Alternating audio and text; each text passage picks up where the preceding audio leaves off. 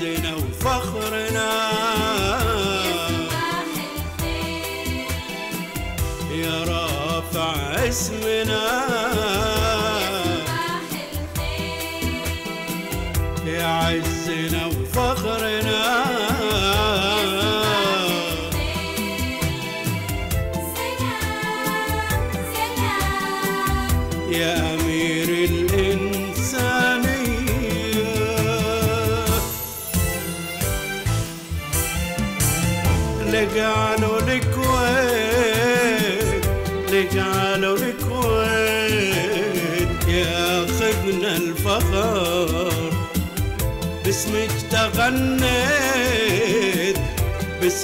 باسمك تغنيت ويفداك العمر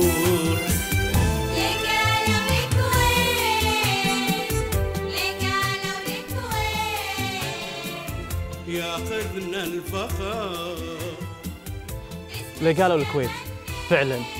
هو بكل بيت. عسى الله يحفظ الديره ويدوم علينا الأمن والأمان يا رب. اليوم مشاهدينا ذكرى هامة على قلب كل كويتي للأمانة وكل مقيم شريف على هذه الأرض الطيبة وهي الذكرى الأولى للتكريم الأممي لسيدي حضرة صاحب السمو أمير البلاد المفدى الشيخ صباح الأحمد الجابر الصباح حفظ الله ورعاه بتسمية سموه قائد للعمل الإنساني. ودولة الكويت مركز للعمل الإنساني في ظل تواصل مسيرة العمل الخيري الكويتي حول العالم. حتى بات هذا الجانب من أبرز الركائز الفعالة والناجحة للسياسة الكويتية الخارجية. بالتأكيد راشد وطبعا كللت الجهود الإنسانية الهائلة اللي بذلتها الكويت وأميرها عالميا بتنظيم الأمم المتحدة في مقرها بمدينة نيويورك في التاسع من سبتمبر العام الماضي. احتفالية تكريمية كبيرة بتسمية سموه قائدا للعمل الإنساني والكويت طبعا مركز العمل الإنساني. وفي الحقيقة المبادرات التي قامت بها دولة الكويت مشاهدينا تحت قيادة سيدي حضرة صاحب السمو دفعت المجتمع الدولي إلى جمع المزيد من المساعدات بفضل جهوده مما ساعد الأمم المتحدة على القيام بوظيفتها الإنسانية. وهذا الأمر وهذه الإنسانيات ليست بجديدة على سيدي حضرة صاحب السمو فهو لديه قلب كبير يحتوي العالم بأكمله وبأسره. بالتأكيد راشد وطبعا يعني نقول مبروك للكويت مبروك لنا نعم. أنه هو أميرنا والله يحفظه لنا إن شاء الله قائد آمين. للإنسانية. آمين. عسى الله يحفظه يحفظ ولي عهد الأمين وسمو رئيس الوزراء والحكومة والشعب ويحفظنا كلنا من كل شر ومن كل مكروه ومن كل عين حاسدة. والله لا يغير علينا الحال إلا إلى الأفضل والأحسن. بسم الله الرحمن الرحيم. ننطلق معكم مشاهدينا في هذا المساء الجميل. مساء الخير عليكم مساء الخير يا روان. مساء النور راشد. وطبعا أمسي على كل شخص يتابعنا ونتمنى اليوم حلقتنا تنال على إعجابكم فقراتنا أيضا تنال على إعجابكم. وكل مرة إحنا نذكر مشاهدينا بأرقام التواصل اللي حاب يتواصل معنا فذكرهم راشد. شو اذكر هو الرقم؟ لا، نسيتي؟ نعم، لا لا، قول الرقم. انت آه الرقم موجود على الشاشة أتوقع محافظته 60 50 56 90 5 5 4 6 شو؟ أنا حافظ الغيب 56 ما شاء الله عليك. 5 56 أنا بعد حافظته. 90 خمس- آخر شيء 5 لا مو 5 اخر شيء لا حافظت الدنيا 60 50 90 60 والله ضعفه شفت؟ 6 50 90 5 5 4 هذا رقمنا اللي حاب يتواصل معنا حياكم الله. وأيضا الاكونت ظاهر لكم على الشاشة الخاص بالإنستغرام راح نستقبل كل اقتراحاتكم وبالتاكيد فريق الإعداد روان خذ بعين الاعتبار الإخوان اللي راسلونا مواضيعكم راح تطرح إن شاء الله في الحلقات القادمة من برنامج مسائي الحين التنسيق مع الضيوف وأيضا ضيوفنا الكرام. متواجدين معنا على الهواء تقدرون تتساءلون أو تطرحون أي سؤال والإخوان على طول بالكنترول يبلغونا ونطرح سؤالكم على الهواء مباشرة. اليوم راح ننطلق آه، استعراض فقراتنا. روان وين فيه آه، طبعا راشد فقراتنا متعددة اليوم وضيوفنا مميزين أيضا. راح نلتقي معاكم عبر عدة محطات محطاتنا اليوم. لقاء هام واليوم العالمي للعلاج الطبيعي طبعا بالتعاون مع بنك ببيان وأيضا نجوم الفن ولقاء وحوار راح يجمعنا معاهم في مساء اليوم. وأيضا محطه تهم أرباب العمل عن بعض القرارات الجديدة بشأن آه، طبعا دعم العمالة الوطنية وأيضا الضمانات التأمينية. وهل هي قرارات مفترض إقرارها أم تعسفيه طبعا بحقهم. محطة أخرى مشاهدينا محطات مسائي تحمل في طريقها مطب صناعي. لكن هالمطب ما راح يعرقل بل سيولد طاقه ولقاء مع مخترع طبعا هذا المطب اللي بالأكيد راح يفيد ديرتنا الكويت. وأيضا مشاهدينا راح تكون معنا اليوم نصائح غذائية هامة راح تسمعونها اليوم مع أخصائية التغذية ومثقفة السكر نادين جهاد. مستمرين معاكم مشاهدينا. إن شاء الله بعد الفاصل ننطلق معاكم مع ضيوفنا الكرام تقاريرنا في هذا المساء. بعد ما ناخذ معكم هذا الفاصل إن شاء الله أترككم مع هذا الفاصل ومع سيدي حضرة صاحب السمو أمير الإنسانية. وعسى الله يحفظك يا كويت ياخذنا الفخر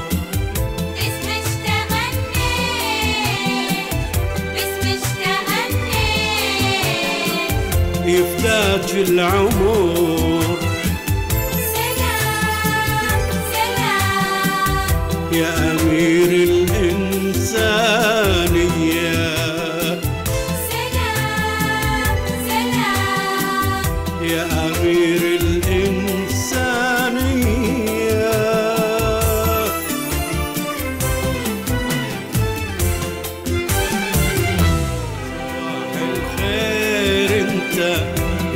صباح العز.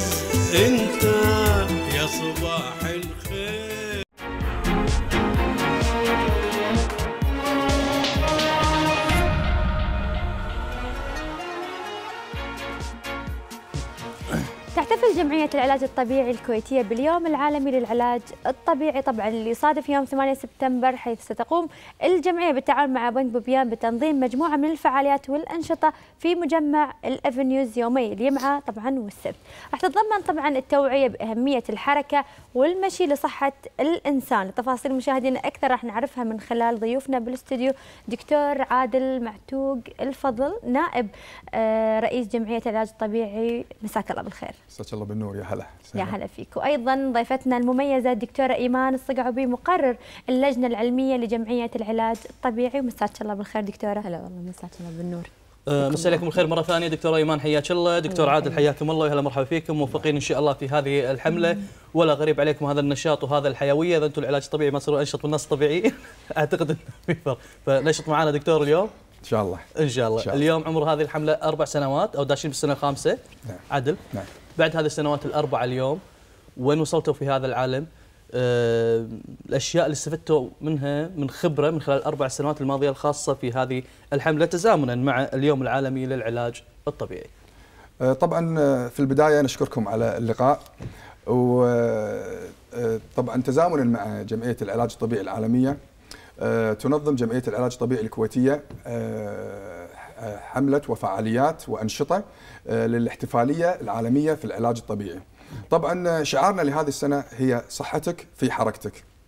طبعا راح يكون ال ال ال ال ال النشاط أو الفعالية راح تكون في مجمع الافنيوز مثل ما تفضلت يومي الجمعه والسبت الجايين 11 و12 سبتمبر.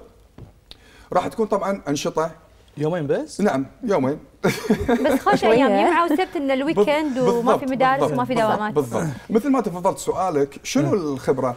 آه وش حقه يومين وش حقه weekend؟ أمانة إحنا ال ال ال ال ال الهدف الأساسي هي توعية المجتمع. نعم. وإحنا لما ناخذ الويكند أنتم عارفين إن الناس تكون مثلا آه، صحيح. بالضبط إجازات وما في دوامات والأمور هذه كلها.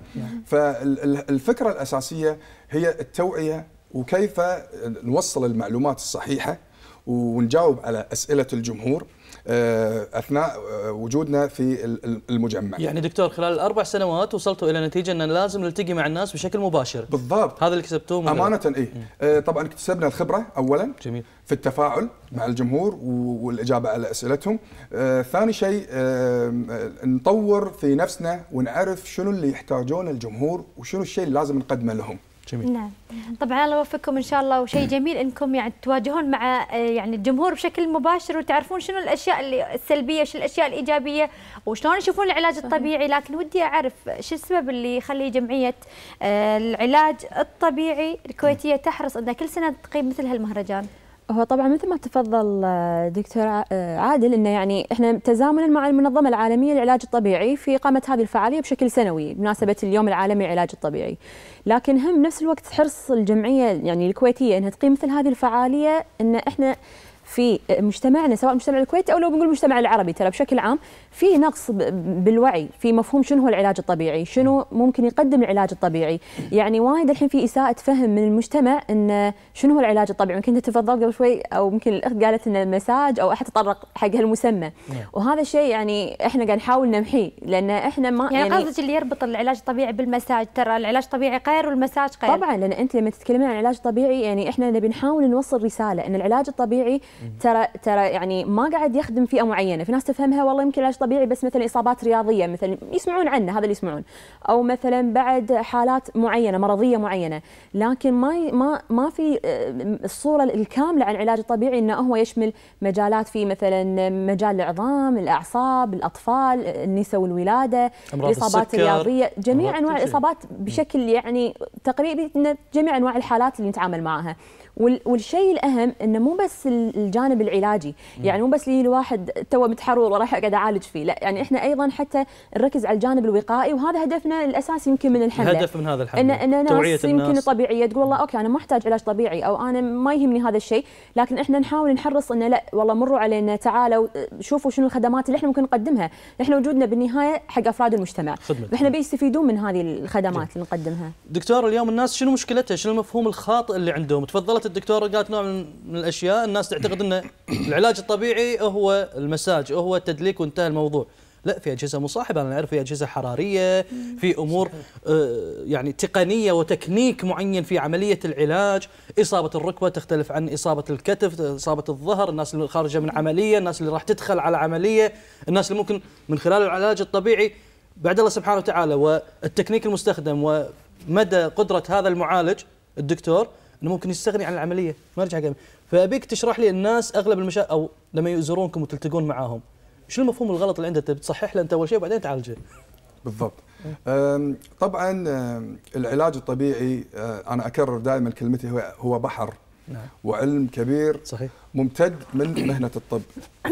آه، طبعا مع الأسف آه، وهذا أمانة دورنا إحنا كجمعية علاج طبيعي ودوركم أنتم كإعلام ان ن- نثقف ونبين للناس شنو المفهوم الخاطئ اللي هم متبعينه.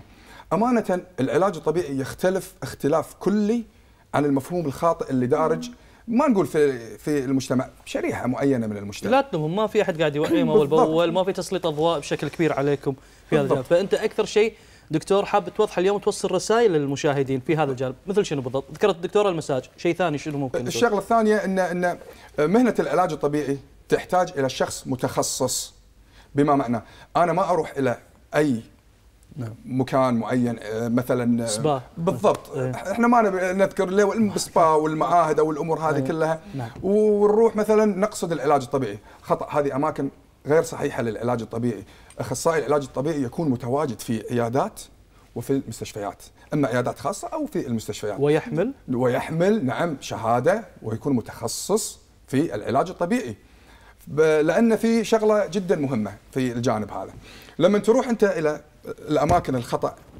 لأي إصابة كانت هو ممكن إنه يعمل لك علاج أو whatever ولكن ممكن إن الإصابة تسوء.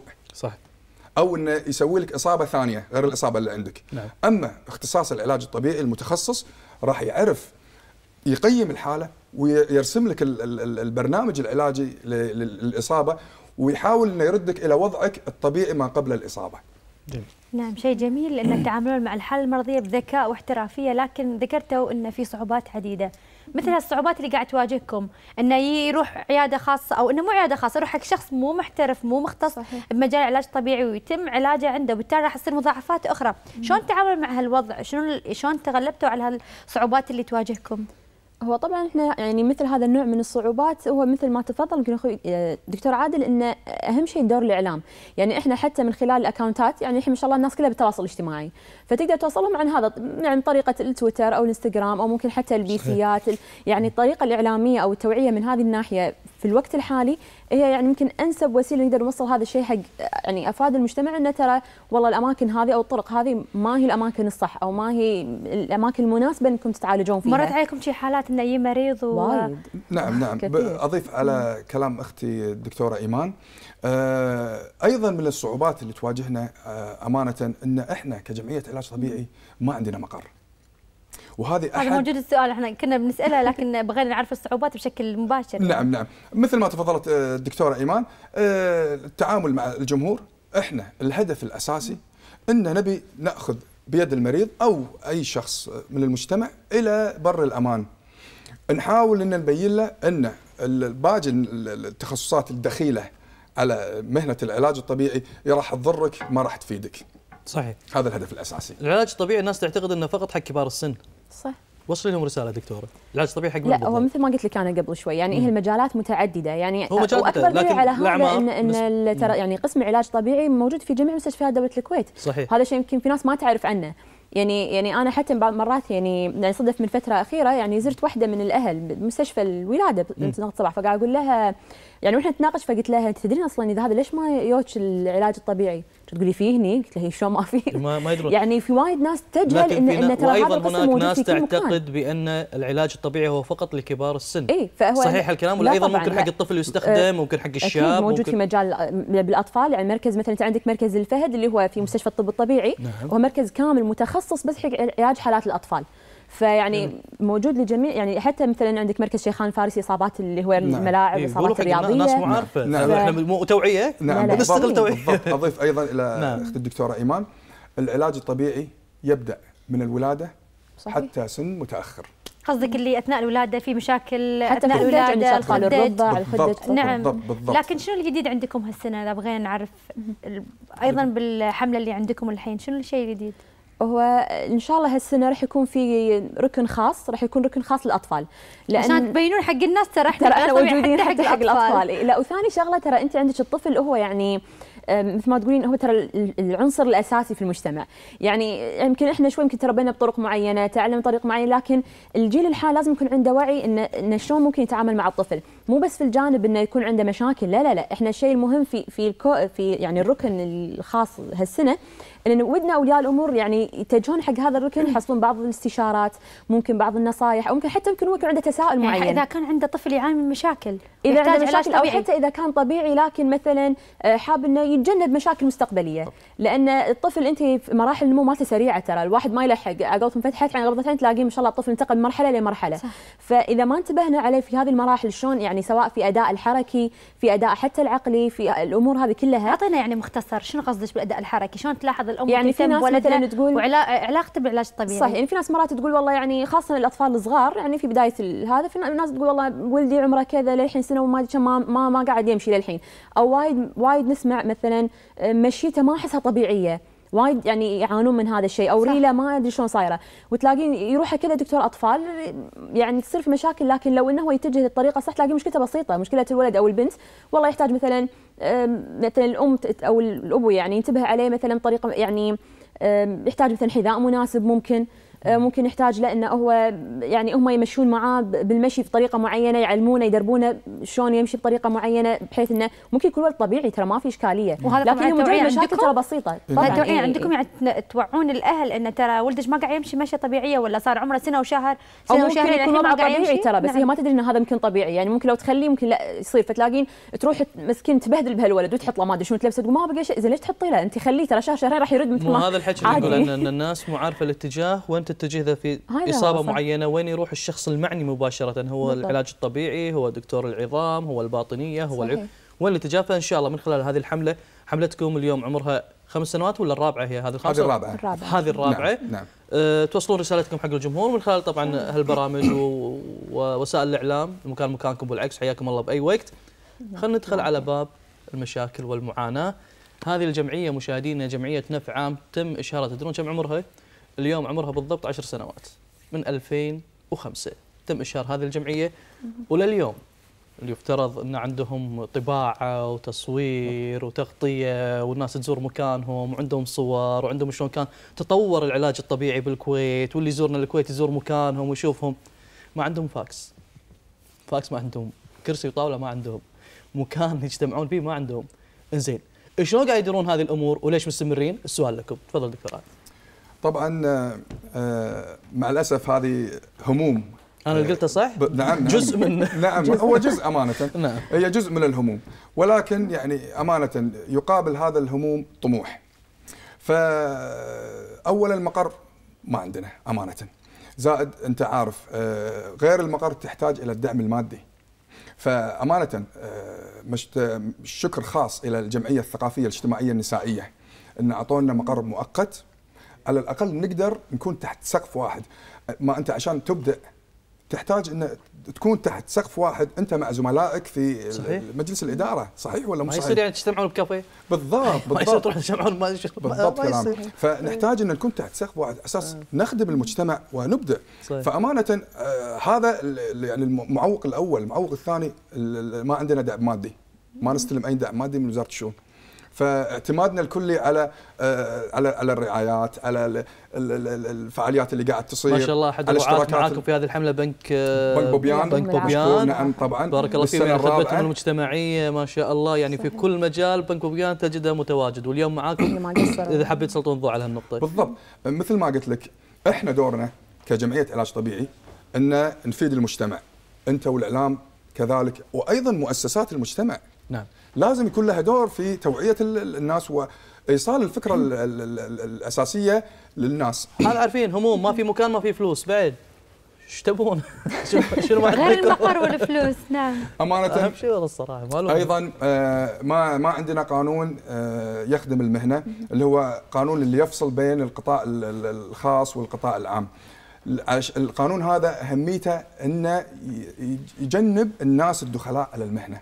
إذا كان هناك في قانون مهنة آه، راح يعني يخدمنا إن ما نخلي أي أحد من برا يجي ويقول مثلا أنا أخصائي يعني علاج طبيعي موضوع قصدك خطير انه يعني. نعم ما في شيء يحميكم قانونيا؟ شفت شلون؟ إحنا أمانة مثل ما قلت لك آه، هناك طموح وإحنا أمانة قاعد نشتغل ونحاول كثر ما. نقدر نعم إن إن- إن- إن نخلي هذا ال- ال- ال- ال- القانون المهنة يرى يرى النور إن شاء الله وإن شاء يعني الله صراحة يعني حتى أيضا يمكن من الأشياء المهمة يعني شوف فعلا أكاد يعني اكاديميا نعم. في كفاءات موجودة يعني و- وأغلب إن شاء الله اللي موجودين في مستشفيات الدولة ما يقصرون يعني وعلى كفاءة في أداء واجبهم لكن إحنا الحين قاعد نتكلم يعني إحنا وصلنا الحين ل 2015 قاعد نتكلم على إن أغلب دول العالم إذا مو كلها قاعد تمشي على النظام اللي هو إحنا إحنا نسميه ال DPT اللي هو الدكتور نعم. العلاج الطبيعي لكن للأسف مثلا في دولة الكويت هذا الشيء ما هو موجود. يعني جامعة الكويت تخرج بكالوريوس في العلاج الطبيعي لكن ما هو ما هو بدرجة اللي هو دكتور العلاج الطبيعي نعم. يعني الحين برا ما في بكالوريوس علاج طبيعي. برا خلاص واحد يدش جامعه مثلا جامعة معينة يبي تخصص العلاج الطبيعي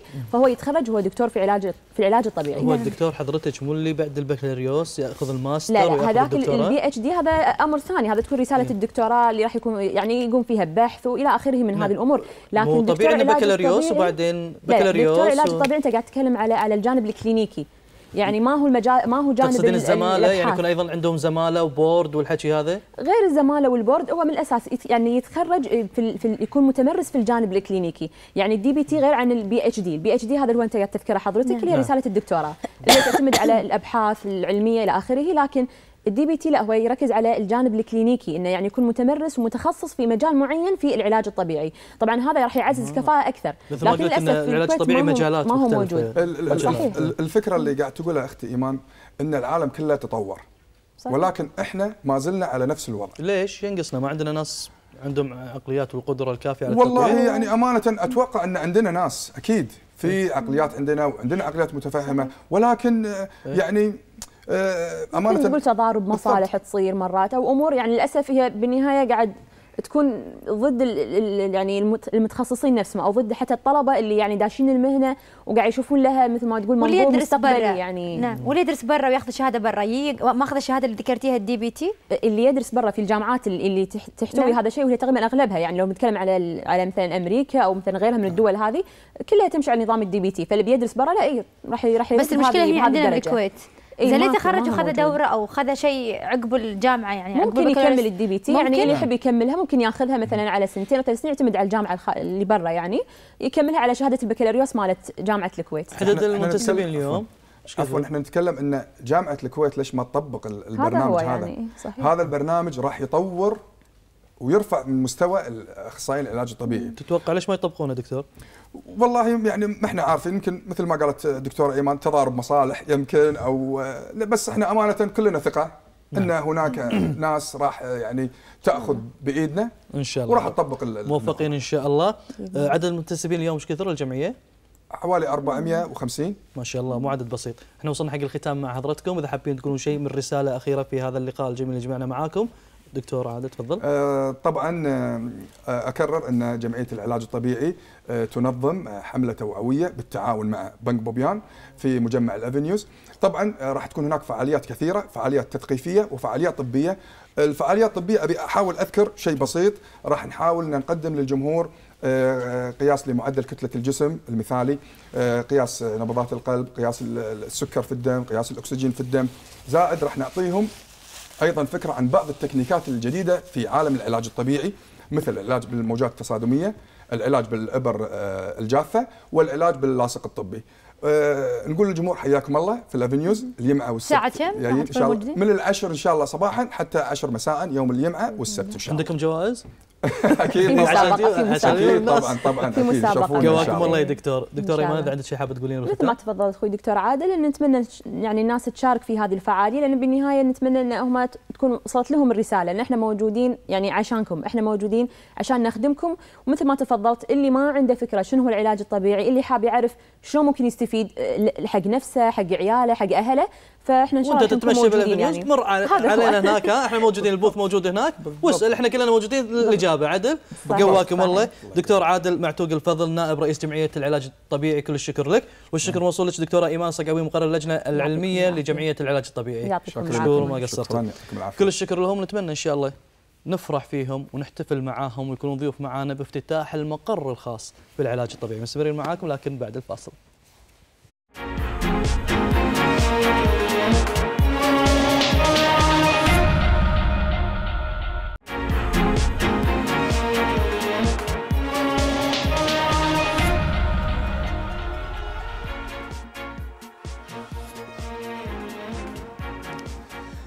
مطب صناعي.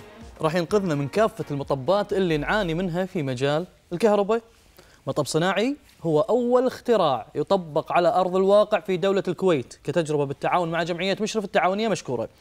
هذه هي الخطوة الأولى مشاهدينا في تطبيق وتسويق اختراعات مركز صباح الأحمد للإبداع. عن هذا الاختراع راح نتكلم عنه بشكل مفصل نرحب بمخترع هذا المطب وهو مطب صناعي لتوليد الطاقة الكهربائية البديلة. مطب صناعي يعطينا كهرباء؟ اي يعطيك كهرباء. يعني آه، ما في محولات؟ ممكن ما في محولات. يعني بيتي من خلال المطبة اللي قدام البيت؟ هي المطبة ولا شنو الموضوع؟ كل هالتفاصيل هذه راح تعرفونها وتعرفون الإجابة عليها من خلال مهندسنا الكريم متواجد معنا المهندس جاسم الجناعي. مساك الله بالخير مهندس جاسم. حياك الله وسعيد باللقاء معك. الله يحييك ويخليك. يسلمك. مساك الله بالخير مهندس. طبعا ومنور. استوديو مسائي ونبي نعرف بالبداية ذكر زميلي راشد مطب صناعي. شنو هالمطب هذا؟ وشلون راح يولد طاقة كهربائية؟ في الواقع الحاجة أم الاختراع. طبعا في الأيام الأخيرة العالم كله تتجه على ال- البيئة والبيوت الخضراء المنازل الخضراء وتوفير الكهرباء من الحرارة من الريحة من الدخان البنزين. هذا كله العالم قاعد يحا- يحاول يوصل له. نعم. الطاقه الشمسية طبعا الطاقه الشمسية آه، على على الأشعة وليس على الحرارة. لأن بالك- بالكويت عندنا شمس حارة تأذي ال- الطاقة الشمسية وتقلل من قدرتها.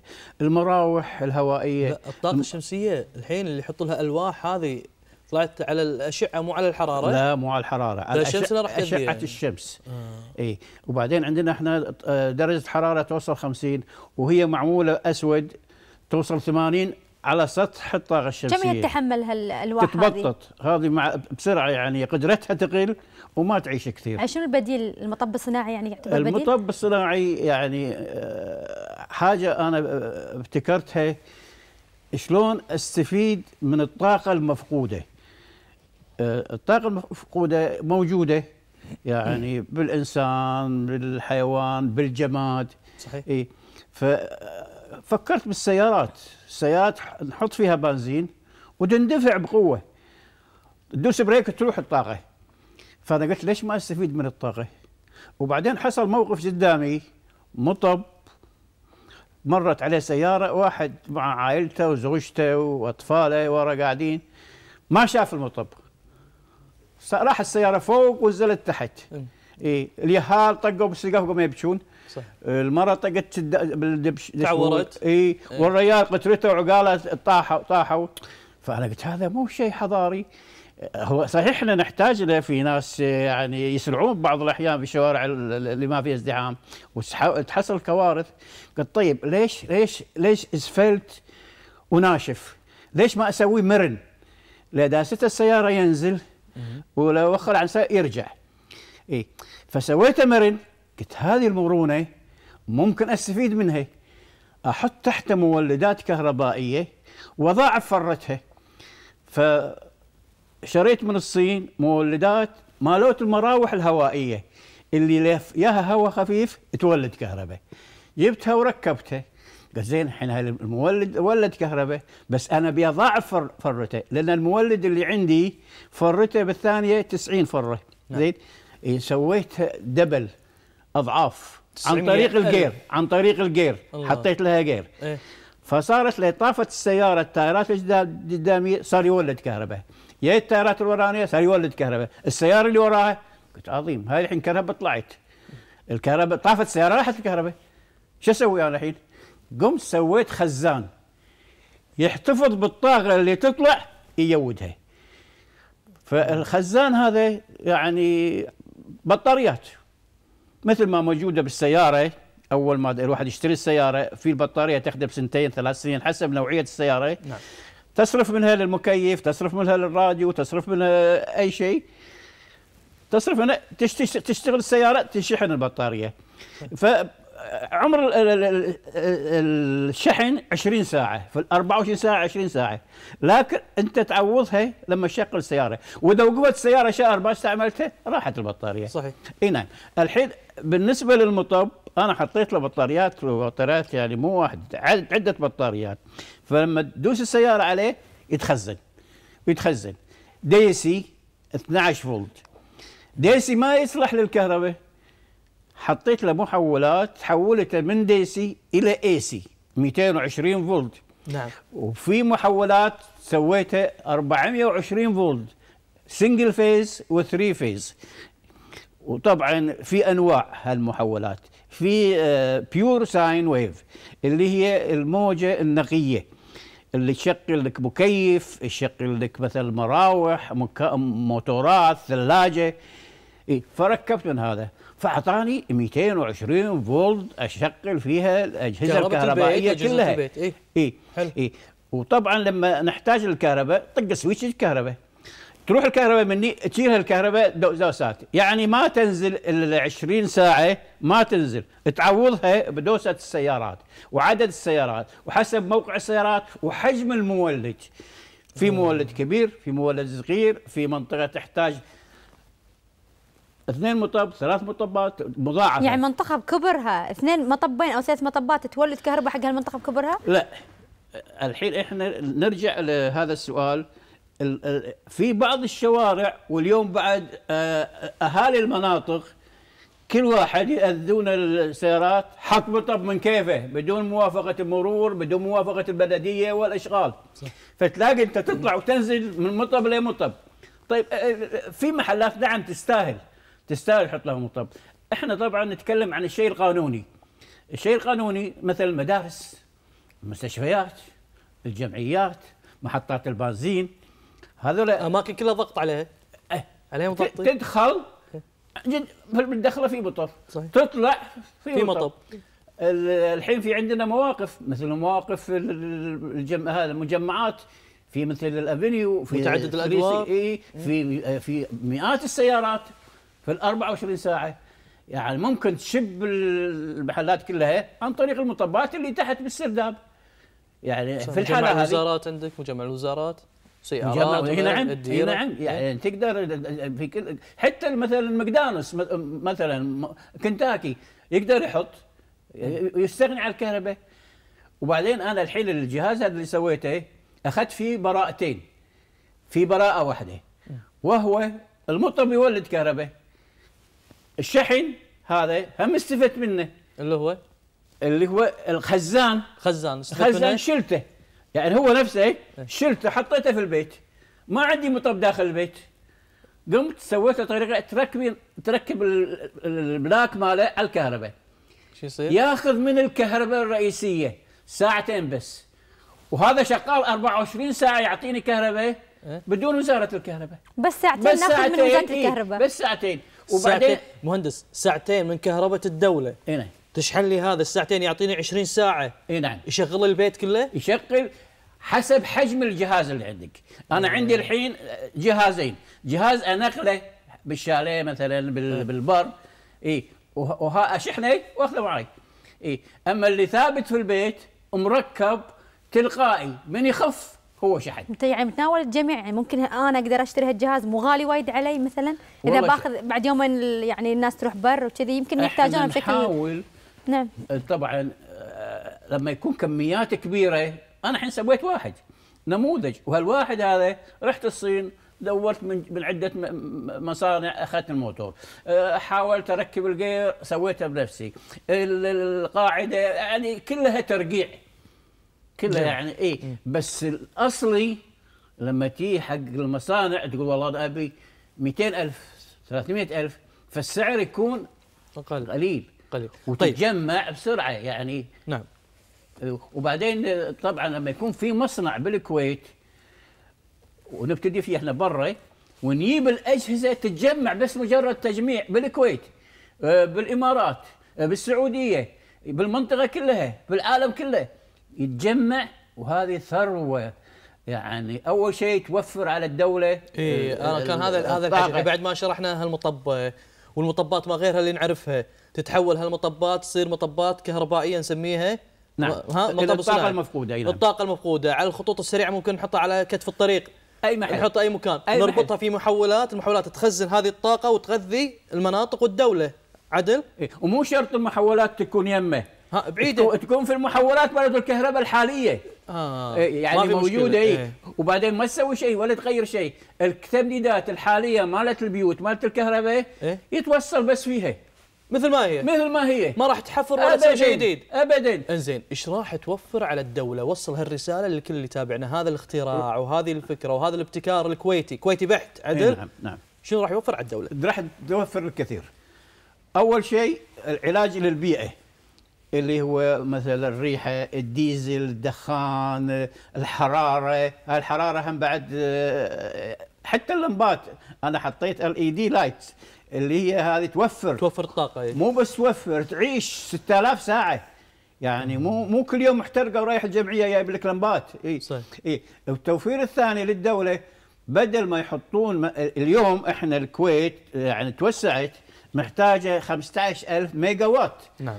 ال 15 ميجا وات ما نحتاج منها إلا 5 ميجا وات وهذه بالمليارات بالمليارات. إحنا مثلا في مناطق أنا قاعد أشوفها بالتلفزيون مثل الجديده الح- بيوت الحكومة. نعم. إيه. سعد العبد الله مثلا. مثل سعد العبدله ما عندهم كهرباء. زين؟ عندنا عند وزارة الكهرباء عندها سيارات هذه اللي تتنقل وقت اللي يصير انقطاع الكهرباء هذه واحدة تنحط على جنب وموصل فيها الجهاز هذا. والمطبات تغذيها؟ بدون مطبات. وتولع بدون المنطقة. هذه بدون بس مطبات. جهاز الشحن اللي لأن بعد بعد. الشوارع ما خلصت وكل شيء. إيه. اي زين. بدون مطبات. عندك كهرباء 24 ساعة. شلون؟ من هالسيارة ساعتين تعطيها البيت ساعتين تعطيها البيت. مو هي. هو الجهاز ياخذ حاجته. هذا ياخذ حاجته ويكتفي. هذا ياخذ حاجته ويكتفي. لأن في طريقة كت يعني ما يعطيه 24 ساعة يحرقه مهندسنا عشان اللي يتابعنا ويشوفنا من الكويتيين من أهلنا من ناسنا من مقيميننا ما راح يطفي التكييف ما راح تطفي الدفايات بالشتاء الإضاءة هي الإضاءة. الأمور هذه كلها ما راح تتأثر. اي بس مو تكييف سنترال. مكيفات ال units. ها الوحدة. العادية اي اي لأن والبويلرات في عندنا لها حل لأن عندنا ما شاء الله بالكويت عشان الكهرباء الحكومة ورخيصة وم- ومدعومة طيب. يشغلون البويلرات 24 ساعة طول السنة حتى بالصيف عز الصيف boiler شغال. هذا تدري ال boiler أصغر boiler 2000 شمعة. مشكلة الكهرباء. يعني حرام. يعني ماخذ. إنزين. إي في نعم. بارك الله فيك باش مهندس وجزاك الله خير وعسى الله يوفقك إن شاء الله الآن. أبيك هالمشروع هذا تبنوه اليوم بالكويت وإن شاء الله متى سيرى النور؟ والله الحمد لله. يعني من مجرد ما انعرض وشافوا بعض الجهات اهتموا فيه وحريصين. وفي الأسبوع الجاي إن شاء الله يوم الأحد راح يكون في توقيع عقد تفاهم مع عهد آه، مع المؤسسات. الله يوفقك إن شاء الله مهندس. صراحة شخص يعني مميز واختراع مميز شكراً. وأنا تكلمت مع الدكتوره جميلة طبعا وذكرت إن بيتكم مو مثل بيت أي أي مثل بيوت الناس لا كل شيء اختراعات نعم. الليت نعم. الوضع عندكم كل شيء مخترع واختراعات مميزة نتمنى إحنا يعني على يوم يعني نزور. البيت. ونشوف شو الاختراعات اللي عندكم بس أنا حابة يعني أعرف الميداليات اللي لابسها شنو هي هي هاي طال عمرك موضوع ثاني هذه آه، ميدالية ذهبية من كوريا الجنوبية. وهذه الوايبو من سويسرا جنيف هذه الوايبو وايبو الحماية الفكرية آه، من آه، طبعا مركز صباح الأحمد آه، مؤسسة التقدم العلمي. لهم الفضل في الحصول على ودعم ما مادي ومعنوي للحصول على البراءات من أمريكا. الله وتبنوا الحين جزاهم الله خير اختراعاتي كلها أنا عندي تقريبا 30 اختراع عندي خمس براءات من أمريكا. وبعدين يعني أنا الحين ما شاء الله عليك، 30 أنا اختراع؟ داخلي ما شاء مو. مهندس أنا أحس إن أنا أعلى من دكتور نعم. بالاختراعاتي.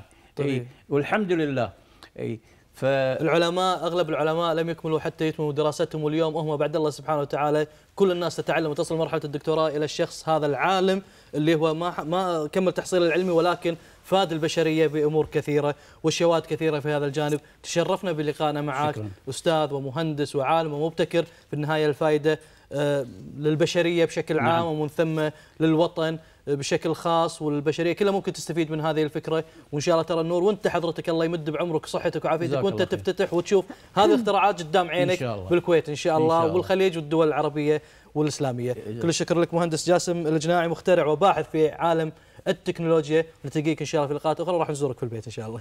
حياك الله. الله يحييك. مثل ما تفضلت الاخت نعم. بيتي كله اختراعات. ترى يخرع بيتي. لا ما عليه راح إحنا. بنشوف هالشيء اللي راح يخرع. نزورك. فاصل مشاهدينا وراجعين لكم إن شاء الله. لا تبعدون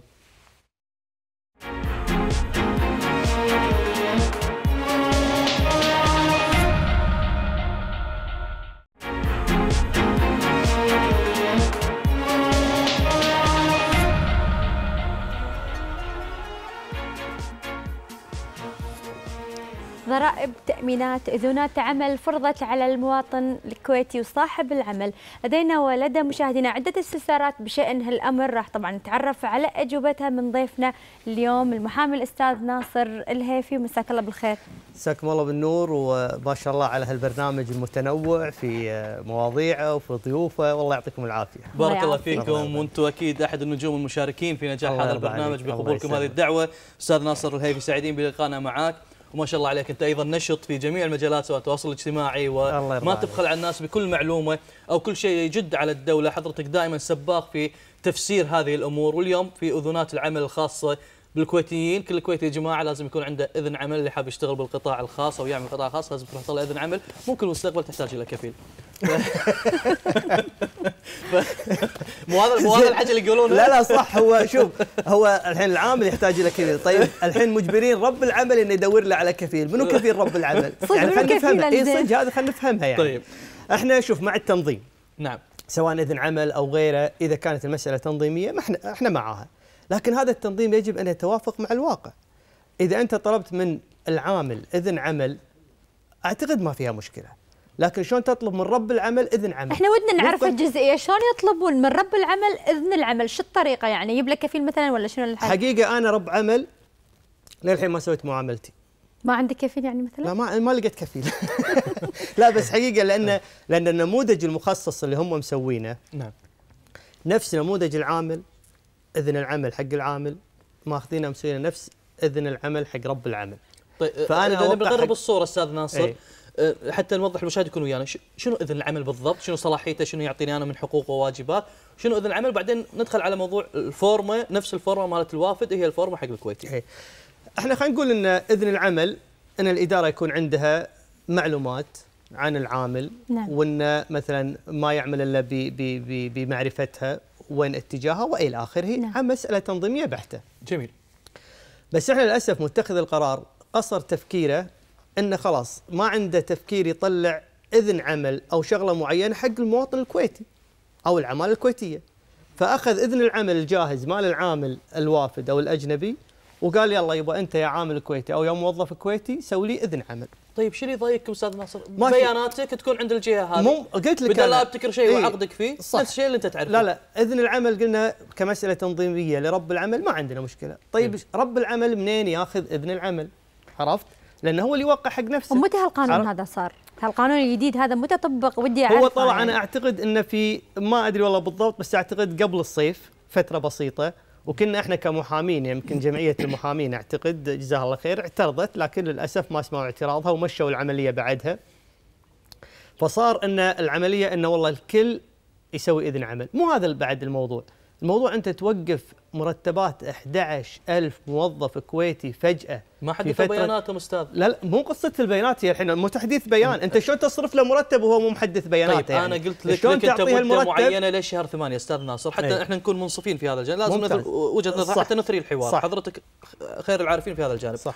اعطاهم مهلة لنهايه شهر ثمانية بعد شهر ثمانية الناس يعني من شهر خمسة لشهر ثمانية ثلاث شهور حدثوا بياناتكم يا جماعة اللي ما حدث بياناته هذه وزارة في النهاية مساءلة ألزمتك أنا في وقت أنت ما جيت وتحدث مو بيانات وقفتك عشان تضطر تروح لا لا هي مو قصة وذكر تحديث. هذا الأمر يعني. اول شيء هي مو قصة تحديث بيانات. نعم. هي المسألة مسألة إذن عمل لازم مجبور إنك أنت تسويه. سوى. عرفت؟ ممتاز. ليش توقف راتبي؟ ما؟ سويته. ما يخالف. أخذها جزء جزء. مثلا تحذيرات كثيرة. بيانات كثيرة قرارات التلفزيونات ما شاء الله إيش كثرها؟ نعم. حط بيانات بالتلفزيونات. أنتم سمعتوا بيان بالتلفزيون؟ سمعتوا استدعاء؟ يعني قصدك إنه ما حد يدري بهالقانون ما هذا؟ حد يدري في هذا الموضوع. والسب هذا وقفت معاشاتهم وهم بالضبط. ما يدروا إيش السالفة. اي وقفت المعاشات. أنت الحين المعاش هذا مو معاش رب أسرة؟ صحيح. مو عليه التزامات؟ نعم. مو عليه اقساط طيب التأمينات الجم... الاجتماعية مو مو جهة حكومية؟ نعم. قصبت العالم علشان وقف زين ما في أرقام. تواصل؟ مع الأشخاص بشكل مباشر حتى يتواصلون معهم يفترض- يفترض. حدثوا بياناتكم يفترض إحنا نقول إنه والله أنت عندك وسائل كثيرة بدل توقيف الراتب. اليوم حتى موظفينك أنت يا جهة إدارية شنو صار فيهم؟ صار عليهم ضغط وخبصة ومعاملات تنقط في في كرتون موز في معامله ويقط- تضيع لا لا مو قصة ما أدري تضيع أكيد تضيع بس أنت الحين يحط عنده كرتون موز ويقط فيه المعاملات عطني المعاملة قط عطني شنو هذا وين قاعدين؟ الحين عرفت؟ نرجع حق النقطة من البداية أستاذ ناصر في عملية إذن العمل لرب العمل. مم. كيف يحصل عليه؟ هذا السؤال حضرتك طرحته، كيف يحصل عليه اليوم؟ أنا أتساءل. ما والله ما عندي إجابة هو موجود يعني على معينة. الموقع الخاص بهذه الوزارة وزارة الشؤون عدل. آه وزارة الشؤون. اي تدخل على الموقع مثلا موجود ال form وتطلعها print. أنا خلينا نكون يعني بعيد عن ما يخالف إحنا أخذناها بنوع من الفكاهة بس خلينا نكون يعني واقعيين أكثر. نعم. وزارة الشؤون اليوم عندها تخبط كبير في قراراتها. يعني مثلا أنت تبي تضبط عملية سوق العمل ماشي؟ وتبي تعرف الناس هذول وين طالع وين داخل. أنا كرب عمل تطلب مني شهريا إني أنا أقدم لك مرتبات العمال. ما فيها شيء. عشان تعطيني شهادة عمل عشان تمشي إجراءاتي. نعم. طيب أنت ليش تشترط إن هذه الشهادة لازم كل موظف يكون مرتبه كامل؟ يعني أنا كرب عمل مالي حق خصم من المرتب ما في سلف قد تكون؟ ما في تفاهمات مع هذا الموظف؟ ليش. تشترط علي إني أنا مرتب العامل كامل أصرفه يعني 300 وي- دينار مرتب العالم العامل لازم تعطي كل شهر لازم 300 اعطيه دينار؟ 300 دينار أدخلها في حسابه إذا ما دخلتها في حسابه يوقف معاملاتي المفكر الشؤون ما حلوا هالمشكله؟ اللي حضرتك طرحتها عليه خصومات عليه اذونات مو عليه- هذا الحين إحنا اليوم شنو إحنا كتبنا حق وزيرة الشؤون آه كتبنا يعني تكلمنا بكثير وكذا وعل وعسى من يعني عن طريق قناتكم إن شاء الله. ان انه يوصل هذا الموضوع يا أخي أنا رب عمل عندي التزامات كثيرة وعندي أمور كثيرة وأوراق أحتاجها من الدولة كثيرة إذا أنت إذا إذا العامل اللي عندي ما خليتني أنا أسيطر عليه كإدارة وأخصم من مرتباته كعقوبات مقررة في قانون العمل أو إذا أنا تفاهمت معاه على سلفة معينة إذا ما خليت لي هذا هذا المجال فأنا كإدارة ما راح أقدر أسيطر على موظفيني ولا راح أقدر نعم، أنتج. عيل الحين مضطر رب العمل إنه يعني يعطي المعاشات شهريا تنزل بحسابه كاملة وما وكام- يقدر يخصم ولا يسوي أي إجراء ثاني لأنه مو من حقه يعني. بالضبط هذه نقطة هذا نعم. حاله هذه- إنه تحت إقامته. حتى المواطن حتى الكويتي يعني. الحين القانون يطبق على الجميع. إيه, لا. إيه على الجميع عرفت؟ نعم. فهذه المسألة قرارات عشوائية. أعتقد ان متخذ القرار والله ما يدري عن سوق العمل شلون صاير. ما يدري عن معاناة أرباب العمل شلون صايرة. بعدين القانون حتى بالنسبة للتأمينات الاجتماعية في قصور كبير. يعني الحين قطاعات العمل أو أرباب العمل متنوعين. تخيل أنا أعتقد انه هم حاطين عضوية غرفة التجارة على أساس أعتقد تفكيرهم إن هي تمثل أرباب العمل. بس هذا مو حقيقي. مو صحيح نعم. يعني غرفة التجارة تمثل التجار. مع احت- مع احترامنا لهم يعني احترام غرفة التجارة بس تمثل التجار. لكن أرباب العمل ما لهم ممثل في هذا القانون. عشان يقول لكم شنو مشاكلنا شنو اللي عندنا شنو الترتيب في اللي أحد عندنا. يمثلكم حاليا أستاذ ناصر؟ لا اطلاقا. ما في أحد يمثل. في طيب أحد. اقتراحكم حتى يجلس معاكم الجهات المعنية وتسمع منكم. أنتم ممارسين لهذا العمل وعندكم مشاكل تواجهونها بشكل شوف يومي. إحنا قدمنا اقتراحات. حق نعم. التامينات الاجتماعية حق ال- الدعم أنتم منو؟ العمالة. أنتم منو؟ إحنا اتحاد المحامين. أنا اتحاد أتكلم عن اتحاد أنا اتراسه نعم، قدمنا الاتحاد. قدمنا آه يعني عدة مقترحات مكتوبة. ولكن للأسف سلمت للجهات المعنيه طبعا سلمت وعندنا أختام تسليمها جيد. لكن للأسف ما في يعني مثل يعني أمور كثيرة يعني قاعدة تصير في الدولة ما في تجاوب ما في مثل ما قلت لك متخذ القرار ما يدري ما أنا قايل ما يدري وين الله حاطه لكن لكن متخذ القرار. بعيد عن الواقع. انت قلتها بعد شوي. اي بعيد. زين يمكن بعيد عن الواقع، متخذ؟ القرار بهالقرار هذا اللي اللي جدا صعب أنا قاعد أشوفه لكن حسب كلامك يمكن له أشياء إيجابية له نظرة أخرى اللي هي قاعد نسمع عن التعيين الوهمي. يمكن الحين يجبر رب العمل إنه ما في تعيين وهمي عنده وبالتالي يعني نحد من هالظاهرة اللي قاعد نشوفها يعني يعني بعضا البعض من الشركات إنها تجيب موظفين وهميين من غير ما يكونوا الموظفين فعلا عندهم. هذا مو صحيح. لا قانونا ولا منطقا. حتى كلام الوهمية هذا مو صحيح لكن هو شماعة. بس هو واقع. لا لا لا ما في واقع. أنا الحين عندي قانون. نعم. القانون هذا أعطى الدولة تعطي لموظف كويتي ميزة معينة عشان يلتحق ب القطاع رب- الخاص. القطاع الخاص رب عمل معين. رب العمل هذا موجود والموظف كويتي موجود والتحق في هذا العمل. وين الوهمية؟ بس البعض ما يداومون. يروح آه. ويسوي نفسه موظف بس. هو ما قاعد يداوم. مو موظف. فقط ياخذ دعم هذا مو العماله وهمية. هذا مو وهمية. هذا اتفاق. الوهميه لا الوهمية انه يكون رب عمل مو موجود مو حقيقي. تختلق مستندات معينة وتقول هذا رب عمل وتقدمها. هذا هني وهمي. موظف كويتي تحط أسماء أخرى معينة وتحطها. هذه الوهمية. يعني وهميه خلينا ناخذها بواقعها القانوني والواقعي. كلمة وهمي مو موجود عرفت؟ لكن إحنا اللي عندنا أشياء موجودة رب عمل موجود وموظف موجود وتعاقدوا مع بعض وصار بينهم عمل. أنا كيفي بطريقة ادائي لعملي؟ أشق له ساعة. تدرين في القانون في مشاهرة الأجر بالمشاهرة وباليوم وبالساعة. بمعنى؟ بمعنى إني أنا ممكن أشق له بالساعة. نعم. ممكن أشق له باليوم يوم أشق له ويوم ماني محتاجه. روح يا. أخي توكل على الله يعني أنت. مع الحين الشركات تجيب موظفين وتعطيهم دعم عماله آخر شهر هو ما قاعد يداومون يعني هذا ما يعتبر موظف وهمي الموظف الوهمي فقط اللي هذه بطاله هذه بطالة مقنعة موجودة نعم. حتى في القطاع الحكومي في موظفين مو قاعدين يداومون ليش مو قاعدين يداومون لأنه ماكو عمل عندهم وظف وظف وكدس وكدس إحنا الخطأ في القانون المشرع لما يجي دائما في كل الدول لما يجي يشرع يدرس الواقع شنو ويشرع له نعم. إحنا عندنا ما يدرسون الواقع عندهم مشكلة بيسكرون حلوج الناس بالفلوس فأنت تجي تعطي فلوس حق المواد تقول أنا بدعم هذا فكوني لا تجون عند القطاع العام الحكومي روحوا بالقطاع الخاص هاكم فلوس. طيب عطهم فلوس وخلهم يقعدون ببيوتهم مع إني أنا مو مو مع هذه النظرية لكن إذا أنت تبي تلجأ حق هذا الأسلوب عطهم فلوس وقعدهم في بيوتهم. لكن إذا نعم. إذا تبي تشجع القطاع الخاص ما تشجع الموظف مع إن الموظف يستحق التشجيع. لكن في القطاع الخاص شجع أرباب العمل شجع القطاع الخاص نفسه. افتح المجالات حق القطاع الخاص حتى يتطور. إيش تبون أكثر من كذي؟ ما شاء الله يعني آه، عمل لحظة شنو آه، أكثر من كذي؟ لحظة شنو أكثر يعني من هم قاعد يشوفون معطينكم العمالة قاعد يتساهلون معاكم في أمور كثيرة قاعد يضعون لكم القوانين تنظيما لحياتكم لا هذه. لا لا لا، في ناس قاعدة تضمن المحلات يعني لا. هو يصدر الترخيص إنه رب عمل لكن في الحقيقة مو هو اللي يدير لا لا العمل. مو هذا التطوير مو هذا التطوير. أنا لا اقصد أنا يعني أقصد- القوانين لا، لا. المقيدة أستاذ أنا- ناصر. أنا أنا- تعتقد أن الناس ممكن وضعت هذه القوانين وهذه لا يحدون من هذه العملية وهي الرخص المؤجرة. أن أنا أمام الدولة أنا صاحب قطاع خاص ولكن في الحقيقة أنا لا أدير هذه الأعمال. هذه لها علاقة ما شاء الله عليك. ما شاء الله قاعد تاخذني من نقطة لنقطه بس خليني طيب. أقول لك. انا إحنا عندنا إحنا عندنا في الكويت إذا صار في خطأ من شخص معين سكروا الباب على كل الأشخاص. وهذا ما يصير ها الخير آه، بالضبط إذا عندك يعني. إذا عندك خطأ عالج هذا الخطأ وعاقب من وقع من الخطأ واترك الناس تشتغل ال- الجادين خليهم لا يشتغلون يعمم بالشكل قصدك. ب... ها يعني لا يعمم على الجميع لا يعمم في بالضبط بعض يعني فانت بحالة. أنت عندك مثلا شيء يعني مثل ما تقول أخطأ ولا سوى ترخيص وهمي ولا سوى مش عارف إيش ولا اتخذ في قوانين طبقها طبقها عليه وخلى الناس تشتغل النقطة الأولانية اللي أنا نسيتها الحين. طيب في عمليه قاعد أقول لك تنقلني من نقطة ت- هنا. ت- يعني ممكن ان ال- ال- ال- الوزارة أو الجهات المعنية وأصحاب القرار يتخذون هذه القرارات نتيجة إنه فعلا يعتقد ان والله الكويتيين عاملين. لكن في حقيقة الأمر هي رخص مؤجرة بالباطن.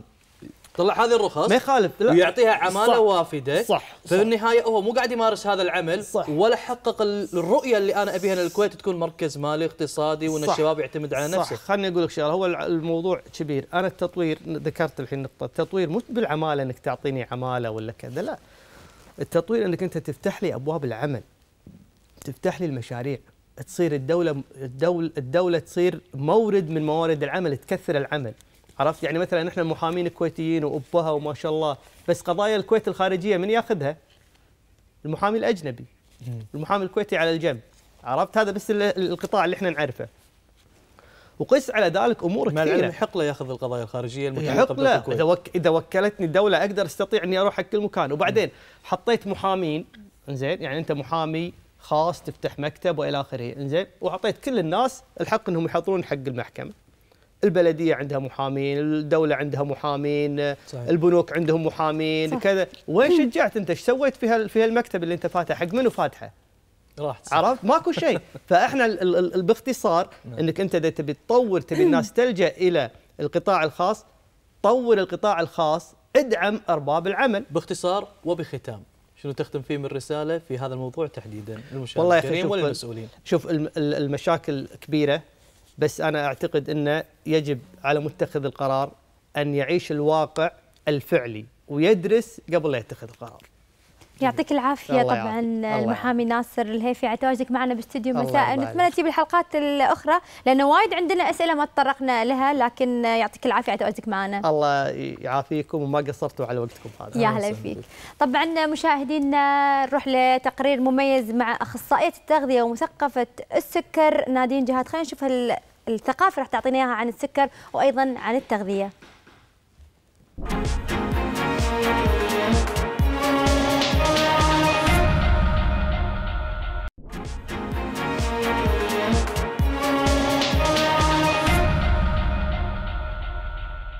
صحيح إنه الرياضة بتساعد كتير من الناس إنهم يخسروا وزن وبتحرق سعرات حرارية كتير. ولكن في كتير أشخاص بيعملوا رياضة وبيتعبوا حالهم بالنادي ورغم كل هيدا ما بيقدروا يخسروا وزن. خلينا نشوف ليش. مع الرياضة ممكن ناكل سعرات حرارية أكتر ممكن ناكل وجبات أكتر وممكن ناكل بروتين أكتر. مثلا في كتير أشخاص بيزيدوا protein bars بيزيدوا scoops of protein وهذا الشيء ممكن يزيد السعرات الحرارية اللي نحن عم ناكلها باليوم. كرمال هيك في كتير ناس مع السعرات الحرارية الزايدة اللي عم ياكلوها ما بيقدروا يخسروا وزن. فلازم ننتبه للسعرات الحرارية اللي عم ناكلها. لازم نروح عند أخصائي أو أخصائية تغذية يعدلونا كمية السعرات الحرارية وهيدا الشيء رح يساعدكم بأنكم تخسروا وزن مع الرياضة اللي عم تعملوها. ما بدي أنسى شرب على الأقل 8 أكواب مي باليوم. في جونا الحار بدنا نشرب تقريبا بين 10 ل 12 كوب مي باليوم. هذا الشيء رح يساعدني بتحسين الأداء بالرياضة ورح يساعدني إني أحرق سعرات حرارية أكثر.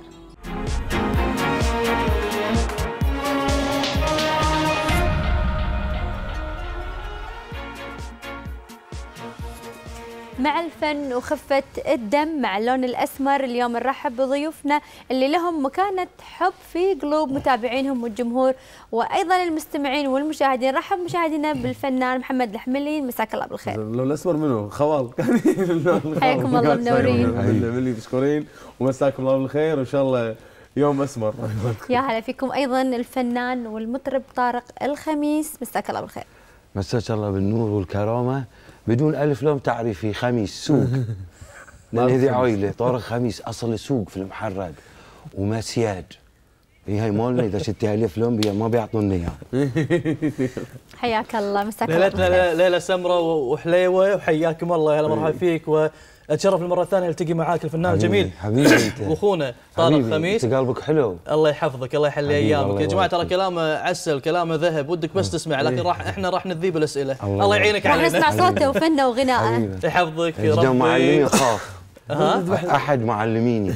قلت لك تتذكر روبرت ناستا مورلي معروف بوب بوب مورلي؟ إيه. وواحد من أحفاد الشاكازولو معلمي كثر. محمد بن إدريس الشافعي أيضا ضم للاحتي محمد الحملي. حبيبي محمد الحملي. معلم يعني. حبيب وحبيب الكل وبارك الله فيه وصديق وزميل. وترى كل المجال ربعه. يعني ما شاء الله تبارك الرحمن علاقاته جميلة وهو متواصل مع الجميع. لكن قبل لا ندش بالأسئلة كل شيء خلينا نطمن على راشد عسى الله يخلي لك إن شاء الله. كلمنا إيش صار عليه سويت له العملية إيه، الحمد لله وسوى له من فترة طبعا القسطرة آه، وما ضبطت معاهم سووا له عملية جراحيه اللي هي. بالضلع عشان الشريان عنده شريان وضيج الجمهور طبعا اللي يدرون يدرون إنه شريان ضيج.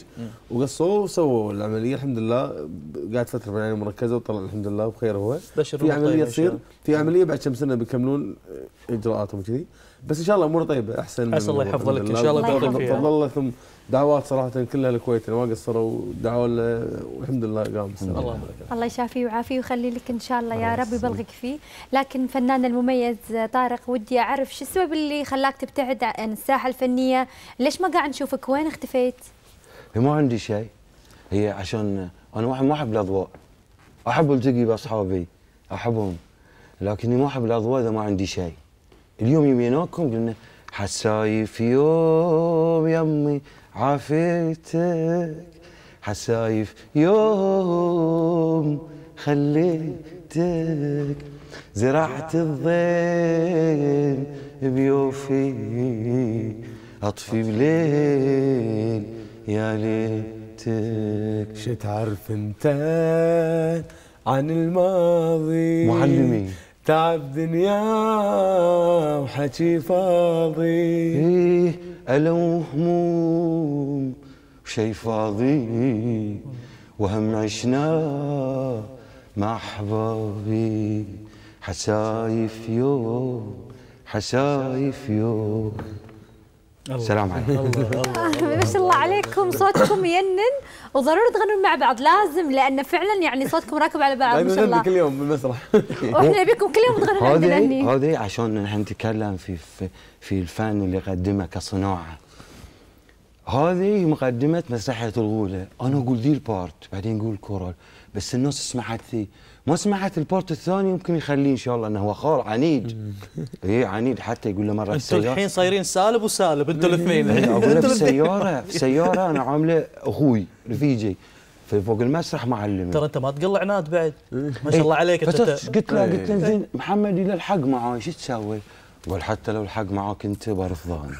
آه عناد السالفه تمشي شغلك لأن الولد أنت تدري أنت شنو الس- السمعة اللي كمخرج الحين واثنين يندون مع بعض ما ينفع. ما شاء الله كل ما تتطور. إيه، الحين صار الحين صار خلاص. طيب آه، هذه آه، المسرحية الغوله إيه. صدق إنها سالفة صجية؟ القصة؟ حكاية حقيقية رواية حقيقية؟ هي القصة ممكن تكون موجودة. ممكن تكون ممكن موجوده تكون موجودة. هي لكن مش مستغاه من الواقع. لا لا هي مأخوذة من افلام مصريه اللي هو فيلم آه، العفاريت وفيلم أربع بنات تضابط خذينا الأفكار والثيم اللي هو ثيم الغولة اللي تخطف أطفال من الصغر لين يكبرون يصيرون مجرمين وفي واحد يشوف واحد يشابه ولده يطلع مو ولده. إحنا بالنهايه سوينا يطلع ولده بالنهاية. قصة لفة هي لفة. فيها أحداث لما تطالعها تحس ان هذه الأحداث شايفها. تحس إن الأحداث هذه صجية. وممكن تكون برضو الواقع. لكن إحنا في طريقة درامية عشان توصل كمسرحية أو ك live musical show عمل كله غنائي مع فرقة band اللي هي فرقة نعم. فلامينجو مع مجموعة من العازفين فردا فردا يعني باساميهم قيادة المايسترو أخوي أحمد القطان الله يوفقكم إن شاء الله لكن طارق آه، يعني أول دور مسرحي لك ولا مثلت أول لا أنا كله قاعد على قلبه من من دراما حصلت وياه بعد اشتغلت السنة يعني أول دور مسرحي الحين بالغولة لا في في منظرة يدتي اشتغلت يعني ويا. محمد نعم, نعم. نعم. في المونودراما والحين وياه في الغولة وإذا الله يكتب لنا إن شاء الله الرزق بيده أشتغل معاه والله أشتغل مع غيره. هذه الله يوفقك إن شاء الله. وهذه حلم. الحلم أنت لازم تشتغله مع إنسان يحترمك ويحترم الفكر مو أصل المادة لا أصل الفكر. الرجال عنده صناعة. تعال هم بقول لك المسرحيه ذي في شيء في قلبي لأن أنا ودي أعرف الشيء اللي بقلبك وشنو دورك وشنو نعم. اللي يعني. نعم؟ حاكيني برا حاكيني يعني ضغطني بالكويتي. زين خف البحريني الج- خف تفضل أنا معاك أنا على الخط معاك في, مترجم اكو ترجم لك. لا لا أنا أعرف لا. تعاتي بس إن شاء الله مشاهدينا يعني في الشيء الجميل اللي فيه آه، الشيء الجميل اللي فيه إن المسرحية دي أنا امثل عن دور أبو. أنت الأبو دورك. الأبو نعم. كان عنده زوجه يحبها وقليل من الأزواج اللي يحب زوجته. ها؟ قليل يحبون زو... آه، حريمهم؟ حقيقة ذي. ورث نكرين. انت ماكش بالحقيقة قاعد عن ليش. تزوجها؟ لا مو كل الأزواج يحبون أزواجهم كان إحنا في نعمة. خل تكلم أي والله صادق لو كل ريال خوش نصيحة. لو كل ريال يتابعنا يحب مرته لا الحين الدنيا بخير. والعكس صحيح لو كل مره بعد حبت ريال زين كان ما راح لا والله الحريم يحبون ريايلهم امراد فقصته هني إنه هو ذي كان فقير يحب زوجته موتت. ما عجبه الحكي يقول مراد من ما عجبه يعني بيضغطني. فموتت زوجته في أول ولاده الولد. فقير هو. فعافى شوف المس عافى تركه في ذمة الله لأنه ما كان عنده يسوي شيء. هد عياله يعني. ولا ولد واحد. ولد واحد، يعني هد واحد. مقرر عليه بالعيال وايد. فهو هدى سمعتي فهدى فالولد يوم كبر ظن أبوه ظلمه. وخذ التمارة تربيه اللي قال لها الغولة. فالمشكلة الناس اللي سمعت اللي, اللي هو الا مهموم وشيء فاضي. يعني. دورك شرير لأنك لا لا. هديت ولدك. لا بعدين الله يغنيه. ويتم يبحث عنه القسم الثاني في المقدمة ذي اللي قلناها بس. الا مهموم شيء فاضي يجي الولد شي يقول؟ اللي يمكن نقوله في الجزء الثاني إذا رضى المعلم. يقول صحت بليل يا جاني سألت دموع من أحزاني وهو مظلوم أم الجاني من خوفي يومي؟ ليبلعني يموت الأبو. شو يقول له؟ الولد يوم عرف هو مظلوم يقول أنا اليوم شخص فاني راح اللي بيهواني مسجل يوم بالاكفاني بيته يعود. اسمعي شابي بس يهواني. كان قدامك سمعه. مو كل شيء تشوفه بعينك غلط. في شيء ما تعرفه في ابن آدم. ليش حزين؟ مو حزين اضحك بس صحيح صحيح. محمد. محمد محمد الحملي محمد الحملي شوف نعم. شوف انت ما خذيت طارق إلا بالعمالة. انت ماخذه وحطيته بهالدور. تدري هذا الرجل يعني قلبه مليء حب. وتدري إن هذا الرجل يعشق يعشق ال- ال- الجدة نقول ها؟ الأم العودة. الأبناء. يعني رجل عاطفي. من درجة أنت تعمدت تحطه بهالدور؟ لأن الرجل بعد كل أداء بعد كل بروفة ورا الكواليس ساعة مع نفسه ودموعه أربع أربع. أنت تعمدت تحطه إيه، بهالدور؟ أقول لك تعمدت وشنو المشكلة؟ اللي حشتنا خلينا نسولف. لك. إيه. آه، طارق خميس أنا من معجبينه يعني. من أيام الناس حرموني والاغاني هذه. قطع طارق رجع. طارق جاء الكويت فشفت أنا في أكثر من مكان. آه، فصار أنا ودي أتعامل مع طارق خميس ففي كان لي دور الأبو يركب دور الأبو على طارق خميس فقلت له أستاذ عندي كذي كذي كذي من أول يوم فحس هو أن الكاركتر قريب منه إنه يأديه هو إنه طارق إيه. فهذا شيء ص- صار كرت الحين رابح إن أنا إن أنت تغني زين ممثل زين آه فأنت راح الحين تأدي الدور كونه قريب منك أو انه تقدر أنت تقول فيه. مكنون الشخصية عاش. شو صار اللي دا- قدام الحين؟ طارق ما تأثر ما قرأ دوره بس طارق متاثر في المسرحية كلها في الأحداث كلها عايشها في الحدث لما يصير عندنا إحنا نسوي الحدث ونمثل ونتعب ندخل كالوس ها خلاص طاف الناس ماشي طارق لا يعيش من أول مسرحية لساعه وربع كاملة عايش الإحساس مال المسرحية. هذا الشيء الحين بالنسبة لنا إحنا حلو بس مرات يكون خلاص افصل. يهوشني ما يفصل. أفصل خلاص. بس يعني أنت راح يأثر على حياتك لا، ويومك لا، يعني أنت. تقعد منقهر وسب مشهد لا، حزين لا. اديته أثناء لا، المسرحية. أقول لك ليش؟ لا مو كل دمعه ترى تشوفني اصيح إن المراد منها ترى أنا حزين لا. هو هو الأستاذ محمد سوى شيء توليفة خلف أول شيء رفضوه قالوا شلون جمعت هاي كانت في رفض. جمع ناس ولا زكى الله أحد يحبون بعض. صوري أنا مغترب. مسرح الحملي صار عندي أهلي. الحملي اليوم اللي ما يهوشني فيه أنا أزعل. اليوم يا- ما آه، هبه الدري الله يذكرها بالخير من بعد تقول لي ما تقولش شيء ون مور تايم. ما تقولش شيء ثاني ون مور تايم. تقلب كأنها ما شاء الله عليها إيه إيه. فريق طبعا فريق طبعا أختي هبه الدري أخوي احمد نعم. ديراج عصام الكاظمي نوف سلطان عزيز السعدون أختنا ما رهف. شاء الله والله توليفه طيب فريق باك ستيج قلنا الفرقة وهم ما بينسى احد حامد محمد. سعاد دانا البنات والشباب كلهم. آه، في أسرة. انت لما تحكي عن أسرة فنية مثلا انت البرنامج الحين في في المسائي في عائلة في مذيعين في مصورين في مخرج في أسرة الراي كلها قاعدة تنفذ هذا البرنامج. إذا ما كان في حب بتشوف أنت المذيع مو مرتاح ما يقوم بالفاصل يقعد يرجع وياخذ يعطي مع المخرج ماكو هذا. لكن المخرج بالنهاية هو المخرج. cut cut نبلش نبلش اسأل فلان اسأل فلان. هو ال director الحين فوق يطالعنا نفس الشيء في العمل الفني. في مخرج هو الليدر بالنهاية. هو اللي عنده اي لا. لكن في حب وبقلب أبيض إيه. كالوس نظيف. أنت أنا دائما أبحث عن الكالوس نظيف. سبب اختياري لطارق خميس الرئيسي إنه هو قلبه الله يخليك. ما شاء الله عليه ومبين عليه و- ودنا نسمع صوتك. أشرب كو أشرب كوروليكس. صبح تبي نصق على نظيف تبدي تول يعطيك العافية وإن شاء الله تستمر شي بالنقاء والقلب الأبيض. أقول لك أشياء عن المساكين هاي بس رابعي. ليش أهلي؟ أقول لك. تحس أي محل أنت ليش أنا أحب ذي الولد الشاب ما شاء الله عليه الأستاذ اللي قدامي. الله يسوي لأنه والله لأنه ليش؟ يعاملني ببساطة. تبي تنجح؟ صير بسيط صير صادق. حتى وأنت كذاب أصدق. لأنه؟ يلف ويدور مصيره يطيح. لا، واللي يشيل بقلبه ويحقد لا راح يلف عليك الحقد يحبون- اللي بقلبك. يحبون بعض. فصف النية بالضبط صح كلامك. في الأرض يجيب لي فطوره سحوره أول يوم زمران. يقول لي إيش فيك طارق يوم رمضان؟ قلت له ما فيني شيء ما كليت. ثاني يوم لي فطوري سحوري تضحك يقول إيش فيك طارق؟ قلت له مسحرني مفطرني. عليك بالعافية إحنا مكملين الحوار الشيق الجميل معاكم وراح هذا اللي يطبق طريق السعادة طارق. لقلب الرجل معدته طبعا. سبحان الله. أي والله المرقوقه تسدحك تنسيك فاصل ف- مرقوق ودنيا وبيجوعنا طار خلينا ناخذ الباص ونرجع لكم مشاهدينا خليكم ويانا. أقول شو اسمكم خيتي؟ راح أصيدك واللي نحشك أنا علمه يبا نحشي خوفي. منها يمه يمه طبه لا تصيدك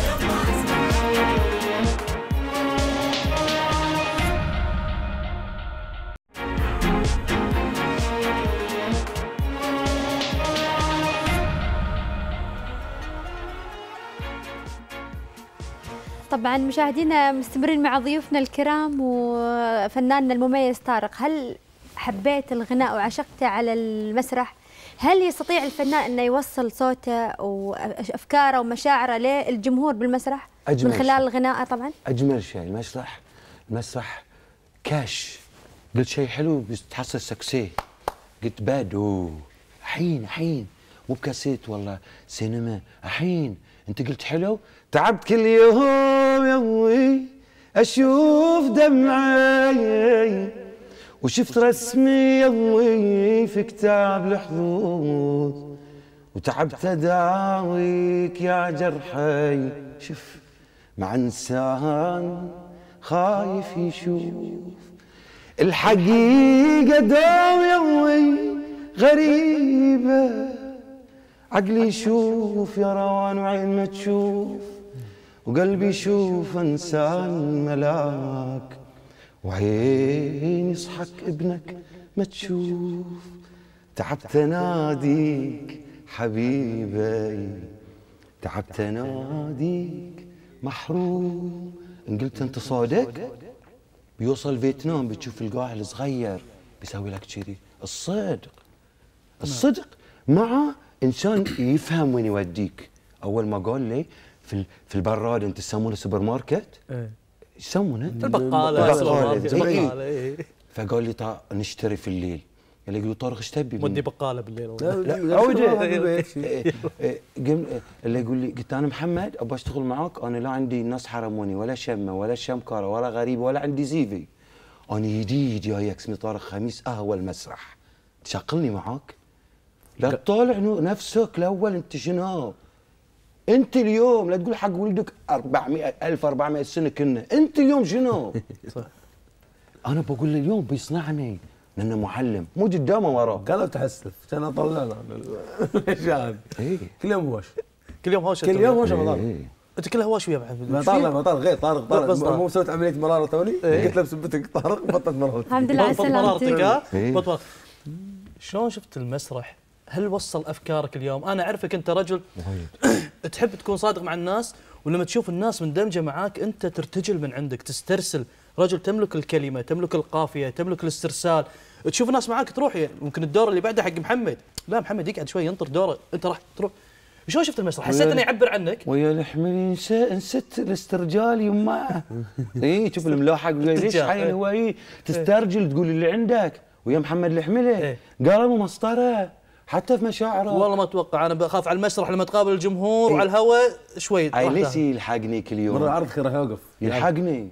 في عرض راح يوقف سبب شفت شلون؟ إيش صار؟ قول لنا إيش صار بالضبط. طارق قاعد يمثل هذه هذه هذه يمثل الحين أنا أنا أنا كاتب النص المخرج في مشهد كل يوم بالبروفا اطوف أنا اطوف خلاص. أنا اطوف مشهد. عرفت أول لا يوم أقول صدق أنا ما سمعته. أنت ما سمعت الحين ما تأثرت. إنزين.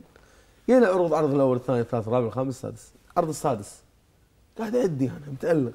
صح. قوم طارق تأثر معي. المايك مالنا الشور مكانه مو هني. مكانه هني. اي أي. هذا اللي تلبسه كذي وال- اي نعم. اي هو. اي ها يتأثر. أنا مركز مع الموسيقى لو كوني مسوي الجمل sync مع الموسيقى. لازم أسمع بس أنا والموسيقى عشان أقدر شو الصوت الثالث اللي سمعته اللي أسمع واحد قاعد يبكي. تأثر.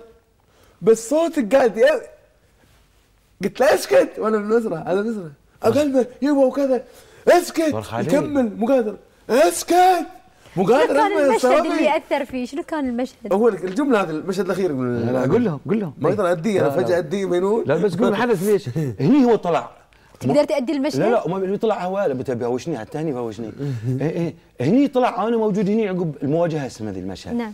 هني هني الفنانة الجميلة رهف. الراقية وأنا مني. ينزل هو يقول آه أنا أقول دريت إن هذا أبوي وهذا اللي ربيتني الحين بيقول الحين الحين بروح مع أبوي ولا ما ربيتني فأقول لهم شنو سويتوا فينا أنت وأنت وسويتوا كذا كذا. فالحين ت- طبعا ما أقدر اديه الحين لأن هذا ساعة تمثيل لين أوصل له. زين صح. مو الحين فجاه راح أبكي. زين طارق الحين يسوي عادي ما عنده مشكلة. أنا ما أقدر. أنا عطني خلني يطعش تعيش. كذي. طارق طيب، تأثر في الولد اللي فاقد أبوه فجأة اكتشف أبوه وهو بالضبط. تأثر قاعد يسمعك. وأنا قاعد أمثل عدل صار معي أنت شو تتخيل شفت؟ أنا لا لا لحظة لحظة طارق جد والله. أنت شنو تتخيل بالضبط لما تشوف؟ أنا أدري أنت على المسرح ما تشوف محمد الحميلي قدامك. في شخصيات. تستحضرها في شخصيات أنت تستحضرها في حياتك. هو عارف إحنا نبي الناس تعرف. هو- أنت حياتك مليئة بال- بالحزن ولا أنت تدعي الحزن؟ لا حياتي مو مليئة بالحزن. عيني شافت سواد ابن بعض ابني آدم في كل محل. ولكن قلبي آمن إن آه، الأمل وفي غير ابني آدم. في واحد يرحم اللي, في اللفه إنما الأمم الاخلاق ما بقيت. إن هم ذهبت أخلاقهم ذهبوا. أنت عندك ياهل اليوم يموت في الاموال لا ذنب أوكي؟ مرنا على الس- السواد. أنا محمد النيوز وقف هني الكلام يتكلم. يا عمي أنا أبو أنا جاد أنا طارق خميس الصد جاد. بسبب ترحالي في الدنيا أشوف عيالي كلهم في محمد ذاك محمد صادق. أول ما اجتمعنا وياه يوم يعرض لي النص كان يدني يمي هاللون. هو يقول لي ما حد يون إلا على العراق ورب العالمين. ويقول لي هاللون الكلام فأنا حسيت إنه هذه ولدي. أنا أبو جد أنا باصير عقب يومين ريول. القصد مراد إن محمد اليوم قال شيء صح. قال عن قال عن قال يبي يختار. انت ما تدري أبوك إيش فيه الأبو غير المراه المراه تقدر تقول لك كل شيء بس الرجال مو كل شيء يقدر يقول لك مو كل شيء يقدر ولدي فخليت ما بيني وبين محمد رب العالمين. قلت يا رب أنا بعيد عن عيالي واصل لهم إيش كثر أنا أحب عيالي.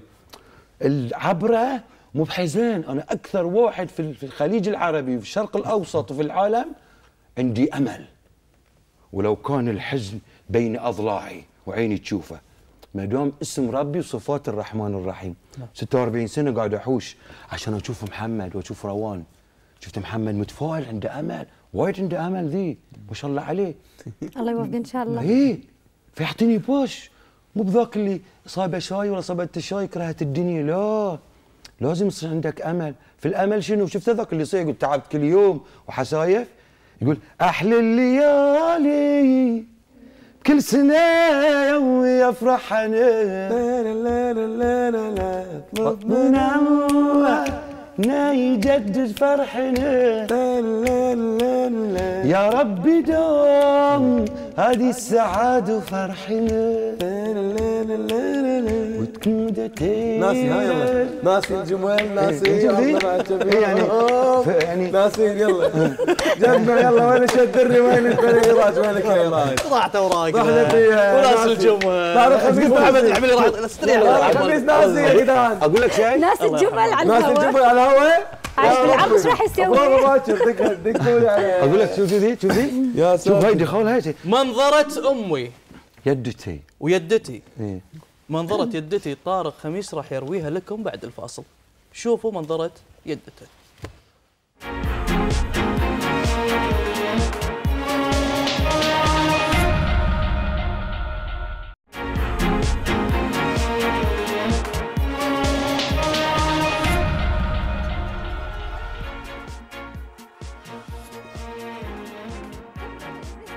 شو قاعد تناقشون فيه الحين أقول لك يبغون البروفات الشباب يعني يكرهوا يكرهوني وايد يعني. ايراج والدنيا قاعد يمثلون. فأنا شفت إن هذا مو هذا اللي أنا قلت له ايراج ايراج شنو هذا؟ هبة شنو هذا الشيء؟ إيش فيك؟ قلت له لا لا لا لا هذا مو مو هذا مو هذا اللي شنو تبي؟ كان اساسر ايراج كان اساسر هبه فبتعيدونه بهالطريقة. عادوا يعني كملوا كمل كمل كمل كمل. شو طارق مسوي لي سالفة بنص الحدث شو مشعل ودانا ما شو متأخرين؟ شو ما منو خليت سكت طول البروفة ساكت طب البروفة العمل مدته ساعه وربع. البروفة تاخذ ساعه ونص لأن شوي بريكات ونوقف صح. وموسيقى و live و70 واحد تعابه ورمضان. أنا قاعد. قلت لهم يا جماعة أنا إذا ما صار اللي ببالي أنا قاعد اليوم سحوري موجود الامساك تو الناس عليه. بيتنا عندي سيارة تردني أموري طيبة وباكر الصبح ما عندي ولا شيء نايم. خلصوا البروفة. قلت لهم يعطيكم العافية. كنتوا حلوين. نعيد البروفة مرة ثانية. لا تشوفوا وجوه الناس. قلت لهم اللي بيتحلطم واللي بيزعل اللي بيطلع خليه يطلع خليه ينسحب عندي خمسة أيام ادبر نفسي بس سووني عربي شباب شوف قلت كيفكم؟ كان اقعد break خذيت لي ماشي يمي بسكوت ما عدنا البروفة أحلى بروفة سواها أنت عارف مفتاح كل واحد ولا. انت كذي متسلط إذا في العمل كذا ولا شو بالضبط؟ الثاني. شنو شنو متسلط يعني؟ لا مو متسلط. بس- مو حافظ انت مو حافظ. بقول لك شيء. شوف أنا خذ خذ وياي. الحين الحين أنا أسود. زين قاعد. لا هي لازم لا لا تكون- يمثل المشهد أنا أسود. ما في شيء. أغني خالد. وأنا أغني الجاز والريجي والخماسي. إيه. هو لحنه جميل. بس دخوله دين دين تك تك تك تك دين دين تك. خالي أسود لازم. دين دين. هاي. لازم التون مال هذي الحين- ذا part ي الحين الثاني من يبيها؟ الجزء الثاني. سويته. أنا بيدي كله. هو يبي يطلع بيغنيها عبالة ما يصير. أنت بحدث. إحنا مستخدمين هذا الفن اللي قاعد تقوله ريجن ما أدري منو شو اسمه. مستخدمينه بالحدث دراما سوي لي الدراما سوي لي التأثير هالدراما ما يصير تضحك. ولدك مفقود وقاعد تسوي عيد ميلاده كل سنة. صار له هو. اسمه سالفة. 18 سنة يسوي عيد ميلاد ولده وولده ما يدري وينه. كلامه منطقي وكل يوم يحط شمعة. ويطفيها. كل سنة. اسمع. كلامه. منطقي. بقول لك شيء. هو ليش تكلمنا إحنا عن الأمل؟ وهو يبحث ولده. بقول لك عن السياق لا هو كلامه صح. أنا المؤلف كيف؟ بس هو هو المؤلف. لا هني أنا في ال- في ال- لأنه ماخذ من باب. ال- إن هي كموسيقى يلزمها ذي وإن حفلة. مثلا خلصت أنا آه، آه، شوف شلون بتعرف إحنا بنشوف لنا حل هالموضوع شيء. أنا أنا. خلاص أدق على بدري اي اي أنا عارف هو هو. اتصلوا على هبة الدر يا القصة شباب. ذي، أوه، هبة الدر مسوي له اتصلوا قصة. عليه، كنترول. بعدين شو يقول؟ اتصلوا على. أقول آه، الليلة غير كل الليالي أنا. أحس أضحك حتى ذي بينها يعني شو- هو كلامه صح بس أنا هني أنا أقول لك أنا فنان بسيط هني بقول لك شيء حق الناس اللايف يلا تفضل قول اللايف اللايف اللايف عشان تبين للناس اللي قاعد يسوي فان ريال. وايد حلو. كذي دين. دين تك تك دين. دين مالتنا إحنا السود. بدري ثلاث تركناها. هبة انت معنا على الهواء إحنا ببرنامج مسائي سبيكر. عشان نسمعها. أهلين. هبة. هلا شوف لك حل مع طارق خميس للحين مو مقتنع اللي اللي قاعد يعندني قاعد يطفرني. ليش؟ فيك طارق. لا عاد. طارق يعني مو معقول يا حمود كله يكلمني وأنا أكلمك. صاير الوسيط هبه الدري وسيط يقول سير وسيط مصر يغني مصر يغني اللي بباله. لقاء غني ولا لا؟ يغني لحن غير. ما ب... لا لا لا يغني تكفون مو معقول. هاك ماش هبه هبه الدري طبعا مشاهدينا الكرام يسعدنا تكون معانا هبه على الهواء مباشرة الفنانة الجميلة من خلال تليفون محمد الحميلي ترى كذي هم الفنانين ما شاء الله عليهم طلعات غريبة عجيبة. وإحنا وياهم ترى ماشيين. حياك الله يا هبه وانت على الهواء. شنو حابة تقولين حق مشاهدينك ومتابعينك ومحبينك؟ تفضلي. أقول لهم أول شيء مساكم الله بالخير و آه، ما أدري إذا هم مستانسين ويا محمد وطارق وهم وياهم على الهواء ولا لا. نجرى على الهواء صايرة نجرى هني إيه، محمد مو راضي يخلي طارق يسوي اللي براسه. يا يبا آه، أنا بالمسرح أنا اللي طايحة بينهم من صدقك؟ زين طارق خميس معاه حق في اللي قاعد يقوله أو لا؟ أنت إيش قاعدة تشوفين على المسرح والكواليس. اللي قاعد يصير؟ لا يعني طارق لما مثلا يعودنا شهرين ونص ببروفات على شيء معين بعدين فجأة يغيره بالعرض هني تصير كارثة يعني عند محمد الحملي فعشان لا تصير هالمصيبة صارت هبة هي اللي بالوجه. طيب. هبه المقطوطه على صدرها هبة الدري اليوم طارق خميس الفنان طارق خميس لأول مرة على خشبة المسرح مع أخوانه وزملائه. آه، من الفنانين شلون اليوم شايفين أنتم طارق خميس وتعاملكم معه على خشبة المسرح؟ والله إحنا من إحنا تشرفنا تشرفنا بوجود طارق ويانا أخونا الكبير. ومستانسين والريال وايد يحبنا وايد. موضوع أسري يعني آه، بيننا آه، صايرين قراب من بعض. يعني إنه قاعد يقول أنا أحس إني جاي بيتي الثاني مو جاي آه، شغل أو ما. بتشاكم ورا الكواليس نبي الصدق ما خلاكم؟ تبكون ما خلاكم تبكون ورا الكواليس؟ أمبلا أمبي مرة غنى الأغنية هذه مالت حسايف يوم. أول مرة أسمعها أنقهر. يلا طلبيها منا على الهواء. طلبيها منا على الهواء عشان نختم معك تبيها وشني حسايف يوم. بس على اللحن اللي يبيه محمد. لا إله. إلا الله. بارك الله فيك هبه الدري مشكورة ما قصرتي حابه تقولين شيء بالختام الله يخليك. أقول لهم آه، الله يعطيكم العافية ونطرونا بالغولة. راح نعيدها بعيد الأضحى. حياكم الله. شوفوا محمد الحملي شو مسوي ويانا على الكل؟ ومسوي شيء جبار. تعالوا حياكم. قواك الله مشكورة ما قصرتي الله يسلمك. مع السلامة. في في أحد ثاني يندق عليك أنا صدق لا؟ اخالف صدق اخالف بس الحق ينقال. بس في مشكلة بينكم قاعد يقول انه تخالف هاي جمال. بالبروفا لا يعني ملتزم. آه، حتى بس لما يكون live؟ وعلى الهواء تخالف هني. إيه، أسوي كل شيء اللي أبي معك منه. بس أنا ساعات شنو اللي أبغى أقوله؟ محمد كلامه صح. بس أنا فنان live أصلي. يعني أنا بار باند. أغني كل يوم. البعزيز وفلاح يمي والمي. البعزيز وفلاح يمي والمي البعزيز والياسم يشوف خيي في الفي.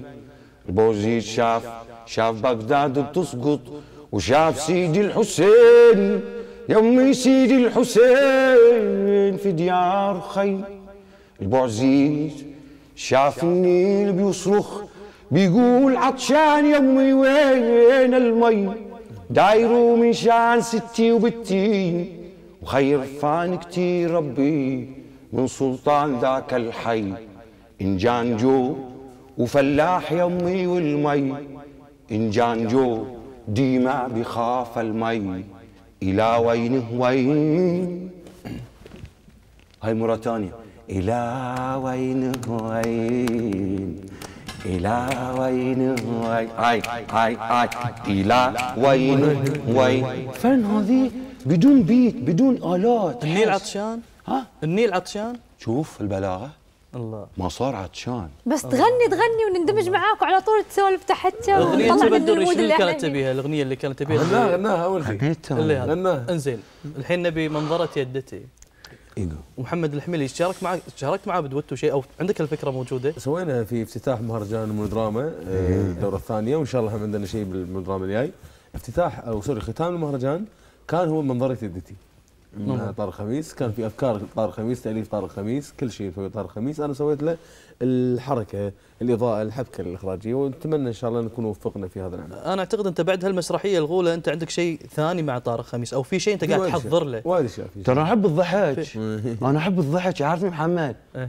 أنا أحب أضحك أحب أمثل في شيء الضحك اللي في القشمره اللي في الأمل. بس محمد يا على في ذي الغوله لأنه شيء في راسه ومعلم لازم أسمعه. حتى أنا أحب يعني. شخصيتك ما تقدر تلتزم بنص. لا، تبي يعني لا. أوكي تلتزم بس بتخ- لازم روحك تطغي على النص. لا. لازم تخالف في يعني لا. أمور. لا. يعني تلتزم. عين راح يلتزم الحين بالمسرحيه لي. بارك الله فيك. علمتك أنت تلميذة. أن تقولين يا الله. قولي يا الله. يا الله.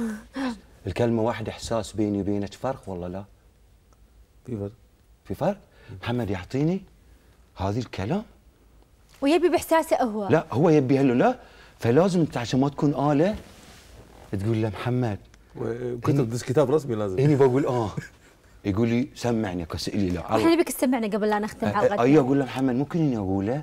يقول لي سمع وبروحي لأن أحترم فكرة. يقول لي إيه هاي قوله ذي لا تقوله. بس بيني وبين محمد في شيء الناس ما تعرفه. في الكواليس يحن علي كمعلم لأن قلت شيء يجيني وسط الناس ما يدرون. مثل ما يهوش وسط الناس يسوي لي هلم فوق كتفي أصيح. من فرحي في الكواليس يسوي لي good هلون أنا معلم وتلميذة. أنا التلميذ هو المعلم. بس لازم أكون تلميذ متمرد وعند معلم يفهم. طارق خميس الجميل والمبدع. نشكرك مرة ثانية لقبولك هذه الدعوة. وتواجدك حبيبي. بين وسعدت جدا بلقائي معك.